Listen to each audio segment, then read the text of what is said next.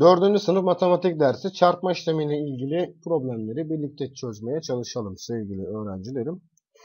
Öncelikle problem tarzı sorularda iyi anlamanızı tavsiye ederim. Soruyu okuya, anlayana kadar okumalısınız. Bir de soru mesela uzun gibi duruyor.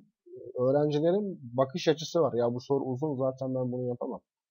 Uzun olan sorular daha açıklayıcı bilgiler verir. Dolayısıyla e, daha çok bilgi verdiği için aslında kolay olan sorulardır. Bir de dört işlem problemlerini çözerken hani işlemi artık iyi kötü herkes yapabiliyor değil mi? Herkes bir çarpma sayısı yapabiliyor, bir bölebiliyor bir sayıyı, bir toplama yapabiliyor eldeli eldesiz. Bir çıkarma yapabiliyor onluk bozarak ya da bozmadan. Ama işlemi yaptıktan sonra neyi bulduğunu bilmek önemli. Hani diyor ya sana patates mi buldun, şunu mu buldun? O çok önemlidir aslında. Başlayalım hemen sorularımıza. Dursun amca ve arkadaşları denizden tuttukları balıkları kasalara doldurdular. Yani ilk cümlede bilgi var. Şu cümle olmazsa soru hiçbir şekilde değişmez sevgili öğrenciler. Şu. Soru kısaldı mesela değil mi? Gözünü korkutmasın sorunun uzun olması. Tamam mı? Her biri 26 kilogram olan 37 kasa balık tutmuşlardı bak. Her biri 26 kilogram 37 kasa balık. Balıkların 357 358 kilosunu 14 liradan geri kalan da 21 liradan satılan Dursun amca ve arkadaşları balık satışından kaç lira para kazanmışlardır. Şimdi öncelikle şimdi 37 kasa balık tutmuşlar. Her biri 26 kilogram. Ya ben kasa istemiyorum. Ben ne kadar kaç kilogram balık tutmuşlar onları istiyorum ben. 37 ile hemen 26'yı çarpacağım sevgili öğrencim. Kaç kilogram balık tuttuklarına bakacağım. 7 kere 6 42'nin ikisi elde var 4. 6 kere 3 18 4 de elde 22. 2 tane 7 14'ün 4'ü elde var 1. 2 kere 3 6 1 de elde 7. Toplamaya geçtik hemen. 2 4 2 daha 6 7 2 daha 9. 962 kilogram balık tutmuşlar. Tamam. Balıkların 358 kilosunu 14 liradan. Bak şöyle bir yapalım buraya. 358 kilogramının her bir kilosunu 14 liradan tutmuşlar. 14 liradan satmışlar. O zaman 358 ile 14'ü çarpmamız gerekiyor. Ama bak burada ne diyor? Geri kalanı da. Şimdi işlem yapmak kolay. Biz 962 liramı 962 kilo balığımız yok muydu bizim? Geri kalanı diyor. Bunun 358 kilosunu 14 liradan satmışlarsa geri kalan dediği çıkartarak geri kalanı bulacağım. 2'den 8 çıkmaz 10'lu kaldım 5 kaldı. 12'den 8 çıkarsa 4 kalır. 5'ten 5 çıkarsa 0 kalır. 9'dan 3 çıkarsa 6 kalır. Bu 604 kilogramda geri kalan balıklar. Yani 21 liradan satılan balıklar sevgili öğrenci. Hemen bunu da yapalım. 604 kilogram balığı da 21 liradan sattılar. Yani balıkların bir kısmı 14 liradan satılıyor. Bir kısmı da 21 liradan. O kısımları da teker teker buldum. Peki 14 liradan satış yaptıklarında ne kadar para geçiyor ellerine? Hesaplayalım. 8 kere 4 32'nin ikisi elde var 3. 4 kere 5 23 de elde 23'ün 3'ü elde var 2. 4 kere 3 12 2 de elde 14. Lütfen eldeleri unutma. Basamak kaydırmayı unutma sevgili öğrencim. 1 kere 8 8 basamak kaydırmayı unutmadım. 1 kere 5 5 1 kere 3 3. Toplama yaparken de elde varsa lütfen eldeyi de unutma. 2 aşağı indir. 8 3 daha 11'in biri elde var 1. 5 4 9 1 de elde. 10'un sıfırı elde var 1. 3 1 daha 4 1 de elde 5. 5012. Bakın ben işlem sonucunda biliyorum. 14 liradan satmışlardı ya 358 kilogram balı. İşte oradan ellerine 5012 lira para geçmiş. Bir de geri kalanı da yani 604 kilogramı da 21 liradan sattılar ya. İşte hemen şimdi 21 ile de çarparak oradan acaba ellerine ne kadar para geçmiş onlara bakacağım. 1 kere 4 4, 1 kere 0 0, 1 kere 6 6. 2 kere 4 8, 2 kere 0 0, 2 kere 6 12. Topluyorum hemen. 4 aşağıda, 8 0 daha 8 eder, 6 0 daha 6. 2 aşağıda 1 aşağıda. 21 liradan satmış olduğu balıklardan da 12.684 lira kazandılar. 12.684 lira bir para kazanıyorlar. 14 liradan sattıklarından da 5012 lira bir para kazanıyorlar. Bu ikisinin toplamıyla Dursun amca ve arkadaşları bu balık satışından kaç lira para kazandıklarını bize gösterir. 4 2 daha 6, 8 1 daha 9, 6 0 daha 6, 5 2 daha 7, 1 daha aşağı indirdim. 17.696'yı buldum.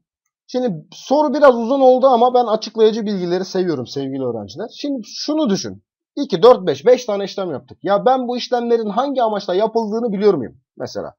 Baştakiyle ne hangi işlemi yaptın? Yani sen bununla neyi buldun? 37 ile 26'yı çarptın tamam. İyi kötü herkes 962 bulur diye düşünüyorum ben.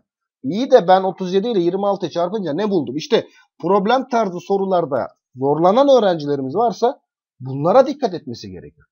Ben 30, 37 ile 26'yı çarpınca Dursun amca ve arkadaşların tutmuş olduğu toplam balığı buldum. Yazalım mı hepsine? toplam balığı buldum sevgili öğrenci. Balıkların 358 kilo orasını, kilosunu 14 liradan geri kalanda ben burada geri kalanı hani geri kalanı 21 liradan sattılar ya geri kalan balığı buldum burada. 21 liradan satılan balığı buldum. Kırmızı işlem, işlemle 14 liradan satılan balığın toplamdaki kazancını buldum. Mavi işlemde ise 604 ile 21'i çarpıyorum ya. 21 liradan satılan geri kalan balığı, balıktan toplamda ne kadar para kazanmışım onu buldum. En sonki siyah işlemde 14 liradan balık sattım. Belli bir kısım. 21 liradan balık sattım. Belli bir kısım. Elime bir para geçti. Siyah olan işlemde de bu iki parçada elime geçen parayı birleştirdim. Yani toplam elime ne kadar para geçmiş final kısmında da onu buldum. Bunu söyleyebiliyorsan kesinlikle 4 işlem problemlerinde zorlanmasın. Önemli olan işlem yapmak değil, o işlem sonucunda neyi bulduğunu bilmektir sevgili öğrenci. Bir diğer sorumuz bir mağazada hafta sonu tanesi 45 liradan 12 gömlek, tanesi 26 liradan 24 kazak ve tanesi 62 liradan 17 mont satılmıştır. Mağaza sahibi bu satıştan kaç lira para kazanmıştır? 1, 2, 3, 4 işlemli bir soru. İşlemi yapmak kolay sevgili öğrencim. Her gösterdiğimde bir işlem var. Sen 12 tane gömlek satıyorsun. Her biri, her kelimesi bana çarpmayı hatırlatır zaten. Çarpma işlemi yapacaksın. Aynısı diğerinde de var. Tanesi 26 liradan 24 tane kazak satmışsın. 24 tane kazağın her biri 26 lira. Sen e, tanesi 62 liradan 17 mont satmışsın. 17 montun her biri 62 lira. Bakalım şimdi sevgili öğrencim. Dediğim gibi işlem yapmak kolay. Bu işlem sonucunda neyi bildiğini, neyi bulduğunu bilmek önemli olan. 45 ile hemen 12 çarpıyorum. Gömleklerden ne kadar para kazanmışım onu bulacağım. 2 tane 5 onun 0 elde var. 1 2 kere 4 8 1 elde 9. 1 kere 45 45 eder. Ya 1 ile bir sayın çarpımı 45'tir. Bir basamakta kaydırırsan neden biraz daha pratik olmuyor? 0 aşağıda 9 5 daha 14'ün 4'ü elde var. 1'e ekledim 540 TL. Şimdi bak 45 ile 12 4. sınıfa giden öğrencilerin ben inanıyorum ki %95'i çözer zaten. Ama ben 540 olarak neyi buldum? Ya ben burada gömleği buldum değil mi? Ha, gömleği bulduğunu bileceksin. Tamam? O işlem sonucunda neyi bulduk? Onu bilmemiz gerekiyor. Tanesi 26 liradan 24 tane kazak ne eder? Hemen onlara bakalım.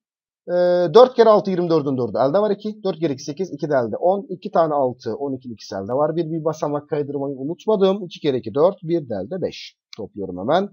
4 2 0 da 2 eder 5 1 de 6. Ben burada da kazak fiyatlarını buldum sevgili öğrenciler. Burada da kazak fiyatlarını buldum değil mi? Yeter ki işlem sonucunda ne bulduğunu bil. Çocuklar 17 tane mont satıyorum. Her biri 62 liraysa 17 tane 62 lira elime para geçer. 2 tane 7 14'ün 4'ü elde var 1. 2 kere 1 2. 1 de elde şöyle. 7 kere 6 42'nin ikisi. Bir basamayı kaydırmayı unutmadım. Elde var 4. 6 kere 1 6. 4 de elde. O neler? Topluyorum hemen. 4 3 2 daha 5 eder. 0 ve 1. 1054. Çocuklar buna da mont yazayım mı? Heh. Mesela bırakıyor böyle. Ya sen ne buldun? Sen gömleği ayrı bir yerde buldun. Kazağı ayrı bir yerde buldun. Montu ayrı bir yerde buldun. Sorudan da bir zahmet kopma değil mi? Mağaza sahibi bu satıştan kaç lira para kazanmıştır? Yani mağaza sahibi sadece mont mu satmış? Sadece gömlek mi satmış? Sadece kazak mı satmış? Üçünü birden satıyor. Üçünü de birden satıyorsa diyeceksin ki bu mağaza sahibi 540 lira gömlekten, 624 lira kazaktan, 1054 liradan montan para kazanmıştır. 3 üründen para kazanmıştır. Üçünü toplayarak bu satıştan toplamda ne kadar para kazandığını bulabilir. 4 4 daha 8 eder. 4 2 6 5 de burada 11'in biri. Elde var 1. Ekledim 6. 6 da burada 12'in ikisi. Elde var 1 de eklersem 2218 lira para kazandığını, toplam para kazandığını bulabilirsin. Dediğim gibi problem tarzındaki sorularda işlemi yaptıktan sonra yani 95'te 20 aldığı şartını atıyorum. Ya ben bu işlem sonucunda ne buldum? Balık mı buldum, bot mu buldum, kazandığımı buldum, zararımı mı buldum, işçi sayısını mı buldum vesaire neyse artık. Sen bunu biliyorsan inanın matematikten hem keyif alırsınız hem de o yapamadığınız yerleri daha kolay yapabilirsiniz. Soru, soruları bilerek uzatıyorum. Bakıyorum iki soru 9 dakika olmuş ama e, yapacak bir şey yok sevgili öğrencilerim. Burada buradaki yöntemi, mantığı, tekniği, stratejiyi kaparsan diğer sorularda hani biraz uzun olsun soru çözümü ama e, diğer sorularda daha rahat edeceğini düşünüyorum. Sezin 12 yaşındadır. Evrenin yaşı Sezin yaşın iki katı. Bak bir de hani sorunun sonuna gelmeden önce ya bana şurada bir şey verilmiş sevgili öğrenci. Bak biraz daha büyüteyim şunu şöyle. Sezin 12 yaşındadır. Bu cümleden o işlemi çıkartamıyor musun? Evrenin yaşı Sezin'in yaşının iki katı diyor. Ya bu cümleden o şeyi çıkarttım ben. Sen o, o işlemi buldun. 12'nin iki katı. Değil mi? Orada bir işlem oldu. Yani demek istediğim sen sorunun sonuna geldiğinde artık bir işlem haritasını da çıkartman gerekiyor. Bak devamında ne diyor? Semih'in yaşı ise Sezin'in yaşının 3 katıdır. Ya bak burada da bir işlem var sevgili öğrenci. Buna göre Sezin, Evren ve Semih'in yaşları toplamı kaçtır diyor bize. Şimdi bak. Sezin'i Sez'le gösterdik. Evren, EVR diyelim. Bir de Semih diyelim değil mi? Semih diyelim. Bu üçünün yaşları toplamını istiyor. Benim kesin olarak bildiğim bir şey varsa Sezin'in yaşının 12 oldu. Peki evrenin yaşı Sezin'in 2 katı. E, o işlemi çıkarttın sen 12'nin 2 katını 12 ile 2'yi çarparak bulurum 24. Zihinden bile yapabilirsin. Hemen buna 24'ü yazdık. Semih'in yaşı ise Sezin'in 3 katıdır. Bak dikkat et. Semih Sezin'in 3 katı. E, Sezin 12 yaşındaydı. Ben 12 ile 3'ü çarparak e, Semih'in yaşını bulabilirim. 3 kere 2 6, 3 kere 1 3. İşlem yapmak kolay. İşlem yaptığında şunu diyeceksin. Ben Semih'in yaşını buldum. Ben Evren'in yaşını buldum. Değil mi? Ha, soru sonu. Soru sonundan başlanır zaten problemlerde. Sezin, Evren ve Semih'in yaşları toplamı kaçtır diyor sana. Ya biri 12 yaşında, birisi 24 yaşında, birisi 36 yaşında. Bu üçünün toplamı 12'nin ikisi elde var 1, 3, 2, 5, 1 de burada 6, 1 de elde 7, 72 olur. Bir diğer sorumuz bir mağaza tanesi 24 lira olan gömleklerden 18 tane, tanesi 43 lira olan ceketlerden 21 tane alıyor. Bu satışlardan mağazanın kasasına kaç lira girer? Şöyle bir soruyla konuşalım mı? Soruya diyelim ki bu mağazanın kasasına kaç lira girer? Gömleklerden gelen parayla e, ceketlerden gelen paranın toplamı girer. E, buradan bir işlem gelmiyor mu aklına? Buradan bir işlem aklına gelmesi lazım. 18 tane gömlek satıyorsun. Her biri 24 lira. Her kelimesi yine çıktı. Yani şunu mu yapayım? Ee, 18 gömlek. Birinci gömleğim 24 lira. ikinci gömleğim 24 lira. Üçüncü gömleğim 24 lira. Dördüncü gömleğim 24 lira. E tamam bunu uzatmaya gerek yok. 18 tane 24 var orada. Demek ki ben burada 24 ile 18'i çarparak gömleklerden ne kadar elde ettiğini bulabilirim. 8 kere 4 32'nin ikisi elde var 3. 8 kere 2 16. 2, 3 de elde 19. 1 kere 24 24. Bir basamak kaydırdım. 2, 13'ün 3 elde var 1. 2, 1, 3, 1 elde 432. Ben gömleklerden 432 lira para kazandım. İstersen G'nin ilk harfini yazsan da olur. Ya da hiçbir şey yazma aklında tut. Onun ne olduğunu bil. O önemli. Geçtik hemen diğerine. Tanesi 43 liradan 21 ceket almışsın. Satmışsın. 21 tane ceket. Her biri 43 lira. Birinci ceket 43 lira, ikinci ceket 43 lira, üçüncü ceket 43 lira, dördüncü ceket 43 lira. Ben bunu sonuna kadar getirmeyeceğim değil mi? Sıkılır insan. 21 ile hemen burada 43'ü çarparak e, ceketlerden kaç lira para kazanıldığını bulabilirim. 3 kere 1 3, 3 kere 2 6. 4 kere 1 4, 4 kere 2 8. Toplamaya geçtim. 3, onun sıfırı elde var bir ekledim 9 3. Bu da ceketlerden kazanılan para sevgili öğrenci. Ceketlerden kazanılan para. Mağazanın kasasına ne geçer? E, 432 lira gömleklerden geldi. 903 lira da ceketlerden geldi. İkisinin toplamı 3 2 daha 5 eder. 3 0 daha 3 eder. 9 4 daha 13 eder. 1335 lira para gibi. Güzel bir sorumuz daha. A sayısı B sayısının 8 katı, B sayısı da C sayısının 2 katıdır. C sayısı 286 olduğuna göre bu 3 tane sayının toplamı kaçtır diyor bize. Benim bildiğim sorudan anladığım burada bir A sayısı var. Değil mi? Bir de B sayısı var. Bir de C sayısı varmış. Kesin olarak bildiğimiz C sayısının 286 tane oldu. Karıştırıyorlar böyle sorularda. Mesela üçünün ağırlıkları işte Hasan Ali'den 8 kilogram fazla işte Cemil'den 4 kilogram azdır gibi sorular geliyor. Ya da onun boyu şundan şu kadar uzundur o bundan bu kadar kısadır gibi ya gel burada yaz işte Hasan Ali Cemil ne kadar bunların şeyleri var. Ee, uzunlukları var onları belirt yaz oraya. Ben mesela C sayısını biliyorum 286. Şimdi birazdan B'yi bulacağım. B'yi de altına yazacağım. A'yı bulacağım. A'yı da altına yazacağım. Zaten sonunda 3 sayının toplamını istiyor benden. Ne yaptığını bilmek çok önemlidir sevgili öğrenci. Bakın burada bir işlem çıktı. Her soruda baştan başlayacaksın diye bir şey yok. Şimdi bak baştan başlayabilir misin burada? A sayısı B'nin 8 katı. Ya ben A'yı bilmiyorum. B'yi de bilmiyorum. E nasıl 8 katını bulacağım? Bir soruda iki tane bilinmeyen olmaz. Bir tane bilinmeyen olursa o olabilir. B sayısı bak buraya bak. B sayısı C'nin iki katına eşittir. Hmm. C sayısı 286 idi değil mi? E bunun iki katına eşitmiş. 286 ile hemen 2'yi çarparım ben de. 2 kere 6 12'nin ikisi elde var 1. 2 kere 8 16 1 de elde 17'nin 7'si elde var 1. 2 kere 2 4. 1 elde 5. 572. Neymiş bu? BC'nin 2 katı. 572 yazıyorum. 572. Şimdi baştaki işlemi yapabilirim. A sayısı B'nin 8 katı. Hmm, bak burada. A sayısı B'nin 8 katıymış. E, B sayısı 572 idi. Benden bunun 8 katını istiyor. Bir yöntem daha göstereceğim sana bu soruda. 8 kere 2 16'ın 6'sı elde var 1. 8 kere 7 56. 1 de elde 57'nin 7'si elde var 5. 8 kere 5 40. 5 de elde 45. Bak A sayısını da buldum. Ne kadar güzel değil mi? Bak her şeyi bul. Yavaş yavaş A'yı da buldun. Bitiriyor mesela. Bitiren kişi demek ki sorunun sonunu okumuyor sevgili öğrencim. Bu 3 sayının toplamı kaçtır diyor sana.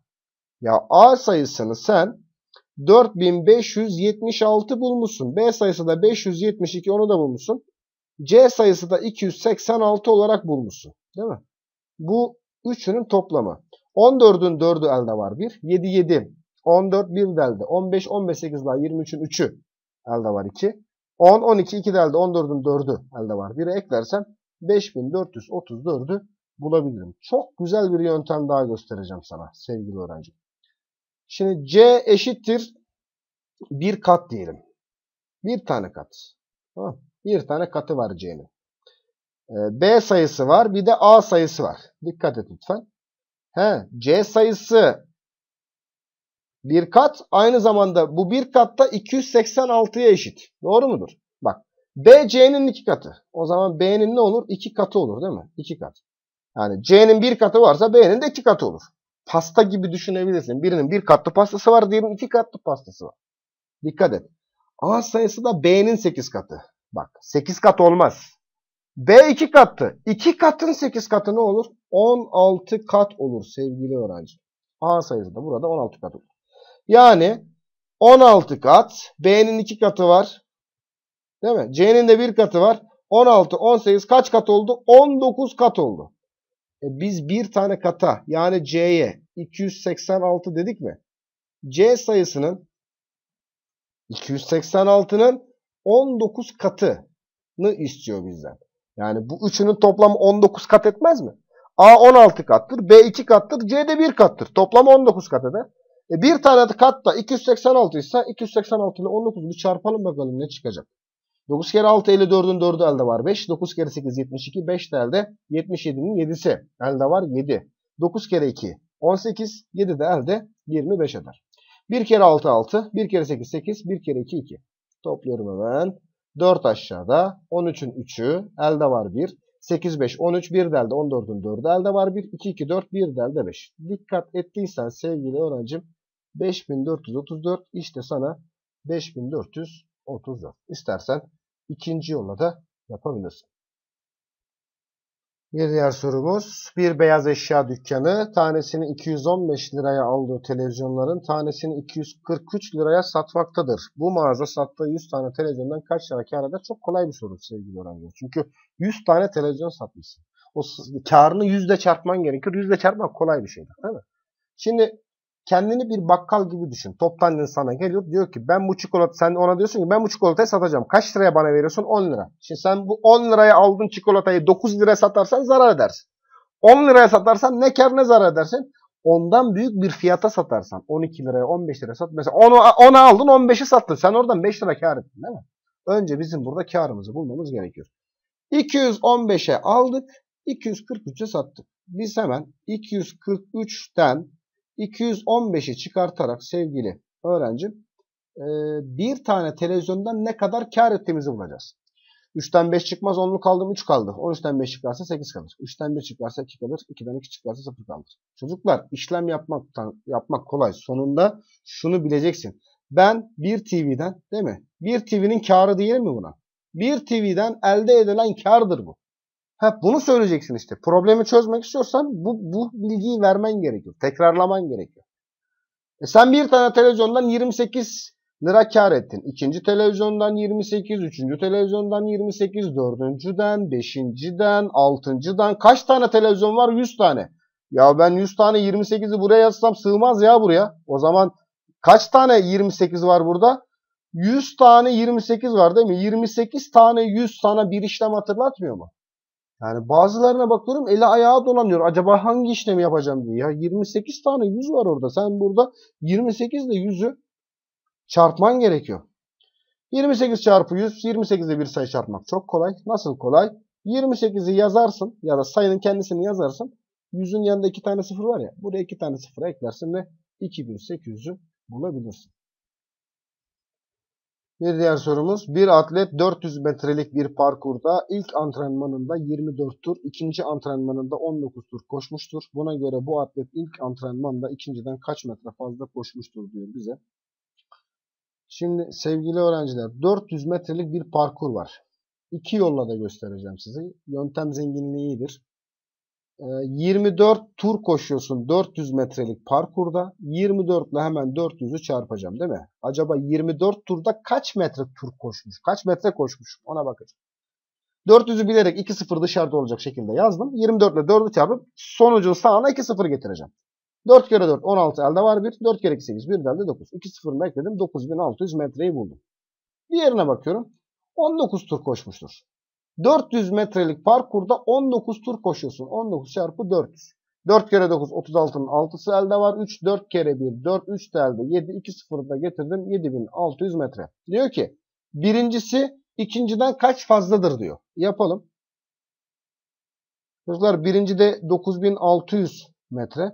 İkincide 7600 metre koşuyoruz. Doğru mu?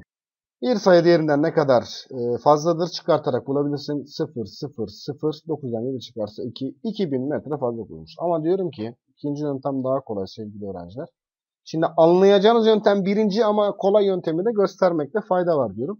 Şimdi çocuklar biz birinci antrenmanda 24 tur koşuyoruz. İkinci antrenmanda 19 tur koşuyoruz. Birinci ikinciden ne kadar fazladır diyor. Değil mi? 24'ten 19'u çıkardım. 5 tur fazla koşuyorum ben. Ben birinci koştuğum yerde ikinci tur koştuğum yerden 5 tur fazla koşuyorum. E, her bir tur 400 metre ise ve ben 5 tur fazla koşuyorsam 5 kere 4 22'de 0'ını ekledim ve 2000 metreyi bu şekilde de bulabilirim.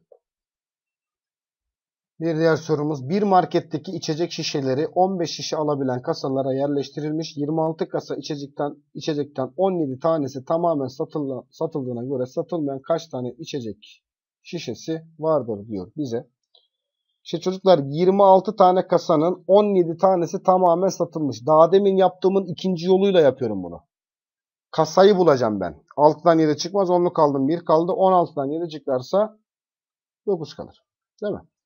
9 kasa kalmış geriye. 9 kasa kalmış ve her bir kasada 15 şişe varsa 15 ile 9'u çarparak e, satılmayan kaç tane içecek şişesi olduğunu bulabilirim. 9 kere 5 45'in 5'i elde var 4. 9 kere 1 9 4 elde 13 135 şişe vardır sevgili öğrenci. İş adamı Caner Bey bankada bir miktar para yatırmıştır. Yatırdığı para 18 tane 50 lira, 14 tane 10 lira, 8 tane 20 liradan oluşmaktadır. Caner Bey'in hesabında para yatırmadan önce 2849 lira vardır. Buna göre para yatırdıktan sonra Caner Bey'in banka hesabında kaç lira para olur diyor bize. 18 tane 50 lira. 18 ile 50'yi çarpacağım. 50 ile kısa yoldan çarpma. Sayıyı 2'ye böl 2 sıfır at. 18'in yarısı 9. 2 sıfır atarsan 9'u bulursun. Ya da direkt işlemde yapabilirsin. 18 ile 5'i çarp sağına 1 sıfır koy. 90'ın sağına. Çocuklar diğeri 14 tane 10 lira yatırmış. 14 ile 10'u çarpmak bunu yapmak için işlem yapma. Değil mi? 14'ü yaz yanına bir tane sıfır koy mesela. 8 tane de 20 lira. 8 ile hemen 20'yi çarpacağım. 8 kere 2 16 sıfırını koydum 160. Şimdi Caner Bey 900 lira bir para yatırıyor. 140 lira bir para yatırıyor. 20'liklerden de bir 160 lira bir para yatırıyor. Bakalım hemen. 0 10'un 0 elde var. 1 10 11 12. 1200 lira para yatırıyor. Bu yatırılan para. Önceden de parası varmış ama Caner Bey'in. 2849 lira parası var. 1200 lira da üstüne yatırdıktan sonra ne kadar olur? Bak ben her işlemde neyi bulduğumu biliyorum. 50'lik banknotların tamamı, 10'luk banknotların toplamı, 20'lik banknotların toplamı. Toplam yatırılan para. Diğer işlem. En sonda 9 0 daha 9, 4 0 daha 4, 8 2 daha 10'un 0 elde var 1, 2 1 daha 3 1 elde 4. 4049 da Caner Bey'in bankadaki hesabının son durumudur. 4049.